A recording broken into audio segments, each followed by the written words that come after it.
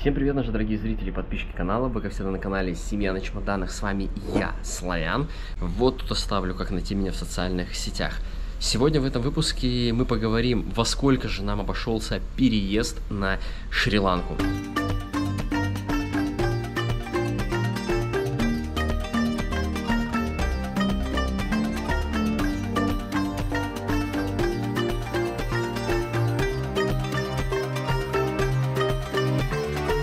Те, кто давно на нас подписан в Яндекс.Зене, то, скорее всего, уже читали эту статью, а если не читали, то ничего страшного. Прямо сейчас в видео об этом поговорим. Ну а если вы не подписаны на наш Яндекс.Зен, не подписаны на группу во Вконтакте, то ссылочки есть в описании, обязательно это сделайте и подпишитесь. И да, мы на Шри-Ланке. Ставьте лайки этому выпуску, пишите свои комментарии, поддерживайте выпуск репостом в свои социальные сети, ну и, конечно же, погнали слушать расходы на этот переезд. Занимаемся чем только можем, чтобы он не скучал. Хочу начать с того, что нас 5 человек. Я, Настенка, Артемчик, Радюшка и Мирошка. На Мирошку, кстати, билет не бесплатный, он стоит пару сотен рублей, но тем не менее за него тоже пришлось какую-то часть доплатить. И сейчас по порядку будем разбираться, на что мы тратили деньги. Возможно, у вас получится так же, если у вас столько же детей. Возможно, у вас будет меньше, если у вас меньше народу. Ну, собственно, сами вычитайте, делите и так далее и тому подобное. Получите сумму на себя. Но, опять-таки, цены всегда меняются, поэтому это наша личная информация.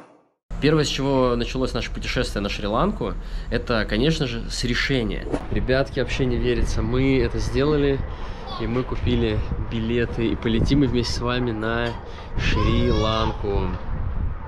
Почему мы выбрали Шри-Ланку, тоже много раз про это говорили, потому что нам нужно еще вернуться в Турцию, так как у нас осталась машина в Турции. Ее нужно забирать в конце апреля, либо лететь и продлевать срок нахождения там на таможне. Шри-Ланка оказалась вторым по бюджету вариантом. Первый был Го, у меня там, кстати, брательник, но мы выбрали Шри-Ланку из-за природы. И, конечно же, по деньгам. По деньгам сюда перелет дешевле, чем в Таиланд, во Вьетнам, в Индонезию, Филиппины и так далее и тому подобное, поэтому Шри-Ланка. Все-таки нас 5 человек и билеты достаточно затратная история. Второе, что мы сделали, это оформили всем визы. Визы оформляли вот на вот этом вот сайте онлайн на 180 дней. На самом деле это не является оформлением визы, это больше считается как разрешением въехать в эту страну. Да, делается онлайн и тебе как бы разрешают, приходит на e-mail подтверждение, что тебе разрешили. Так должно быть. Но нам ничего не пришло, мы зашли просто на сайт, ввели свой номер, и там было написано уже непосредственно, что да, вы можете прилететь. Визу мы делали буквально там за несколько дней до вылета, делали мы ее еще не купив билеты. Так как у нас дети, при оформлении мы вписали детей и мне в визу, и Настенке визу, ну, так сказать, перестраховаться. Но по прилету оказалось следующее. Мы когда подошли на паспортный контроль, дали все паспорта, нам вклеили визы на 180 дней, а на детей ничего не сделали. И он нас отправил в окошко, где делают визы всем. То есть вы можете прилететь туда и по факту уже сделать, как я понимаю, но чуть дороже и чуть меньше. Там, по-моему, на 30 дней дается. Но смысл в том, что мы вписывали детей изначально в онлайн-шопе, мы сделали на 180, но по факту им вклеили только на 30 дней. И что с этим делать, я не знаю. Возможно, нужно будет просто ехать в аэропорт и продлевать, а возможно, нужно забить. Если вы точно знаете, что с этим делать, и вы тоже были в такой же ситуации, напишите, пожалуйста, в комментариях. Цена на визы 50 долларов на взрослого человека, дети до 16 лет бесплатно. У нас вышло чуть больше 100 долларов за двоих, потому что мы оплачивали картой, и там берется совсем небольшой процент, поэтому его можно не учитывать. По сути, 100 баксов на двух взрослых. Следующее, что нужно оформить, конечно же, это страховку. Я рекомендую пользоваться двумя компаниями, это Тиньков и Екта. Выбирайте свое как хотите, ссылочки там есть в описании для более выгодного оформления. Ну а теперь о билетах на самолет. Так как э, нас пятеро, я уже говорил, перелет выходит накладный, поэтому мы искали как можно дешевле и подстраивались под даты, чтобы было максимально дешевле.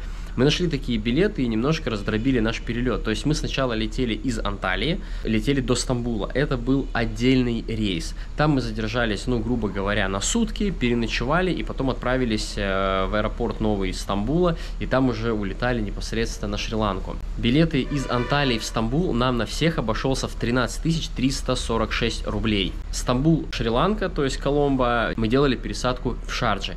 Эти билеты нам обошлись 117 800 рублей за всех. Для более выгодного бронирования также я ссылочку оставлю на Aviasales. Обязательно тоже пользуйтесь моей ссылкой. И вам приятно, и мне небольшой бонус будет.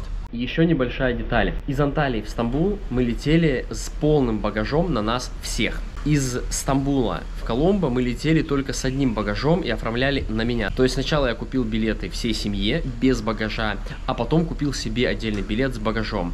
Так было гораздо-гораздо выгодней. Для того, чтобы нам добраться до аэропорта, мы воспользовались услугами трансфера. Почему? На самом деле можно доехать на такси, но это, как показал наш опыт, дороже даже, чем трансфер. Можно съехать на автобусе, но это не очень история, учитывая, что впереди долгий перелет. Поэтому мы заказали трансфер, который стоит 70 евро. И вот так вот с комфортиком мы доехали до Анталии, до аэропорта. В самом аэропорту Анталии мы, кстати, тоже покушали. И Вышло тоже это в какую-то сумму, я, честно говоря, не помню, но плюс-минус цена такая нормальная, адекватная, но опять-таки нас было 4 полноценных человека, кто любит покушать. Мирошка чисто так, немножко. В самолете Анталия-Стамбул кормили, но только тем, кому это нужно было. Мы взлетели, они выкатили свои тележки, быстро кто-то купил еду, мы ничего не покупали. Приземлились в Стамбуле, дальше началось приключение, мы решили, что а почему бы нам так не попробовать. И зашли в стамбульское метро. Сказать, что это был трэш, ничего не сказать, потому что у них э, своя система, своя какая-то покупка карт. Мы очень сложно втыкали в эти аппараты. И в итоге кое-как у нас получилось купить эту карту, но потом, как оказалось, что каждая пересадка оплачивается отдельно, налички с собой было очень мало. Короче, геморрой был конкретный, но смысл в том, что на стамбульское метро мы потратили порядка 500 рублей и вышли оттуда, а после этого мы поехали до финишной точки, то есть до жилья там на такси, потому что ну, нереально было ехать, в Стамбуле еще было холодно, и мы сделали пересадку на открытую ветку, и были в кофтах, очень замерзли. Такси до жилья нам обошлось в 100 лир, это э, 377 рублей, где-то так, и упали, как говорится, отдыхать. Из жилья, в котором мы переночевали, до нового стамбульского аэропорта мы также заказали трансфер, чтобы не мучиться в метро, и трансфер нам обошелся в 35 долларов. И еще у нас был один трансфер, это уже непосредственно из аэропорта Коломбо до нашей виллы, собственно, где мы и остановились. Эта цена была 65 долларов. Теперь жилье. Жилье было в Стамбуле, которое находилось э, в старом городе. Мы очень хотели там погулять, но из-за того, что нас э, перенесли рейс э, в Анталии на пару часов, мы погулять не успели, потому что стемнело, но в любом случае немножечко погуляли. Жилье в Стамбуле нам обошлось в 2300 на наши рубли. Следующее жилье уже было здесь, в Новотуне, которое нам обошлось в 390 долларов э, за месяц. Теперь давайте поговорим про питание. По билетам, которые мы покупали, э, обед и еда никакая не была включена. И мы даже немножко расстроились, потому что были перелеты по 4,5 часа. Но там можно было купить э, за деньги бутерброды или обед. Мы обедали в аэропорту до посадки. В среднем обед обходился на нашу семью в 2 500 рублей. В общем, на все приемы еды, включая перекусы и снеки, мы потратили 10 тысяч рублей за весь путь. А он составил в совокупности 2 дня. Ну и сейчас можно на самом деле подвести итоги, сколько же мы всего потратили. Давайте прямо здесь сейчас будет все высвечиваться. Виза на двоих 180 дней 7 тысяч рублей, то есть 100 долларов. Билеты 131 147 рублей.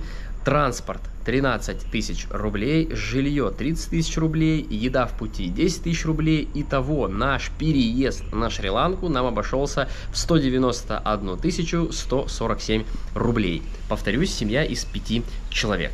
Возможно, мы даже какие-то мелкие траты упустили, но тем не менее, мне кажется, достаточно крупненько. Но если мы бы летели на Бали, либо в Таиланд, либо в Вьетнам, как изначально планировали, то переезд бы был в два, а может быть даже в три раза дороже. Ну вот, собственно, все.